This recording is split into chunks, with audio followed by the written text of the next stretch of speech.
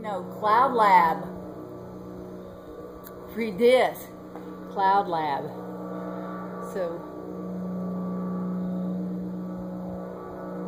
yep, that's what it says, Cloud Lab on it. You can see it really good up close through these, baby. Really? Uh huh. I want to video it a little bit though. Oh, I did not. Sorry. Yeah.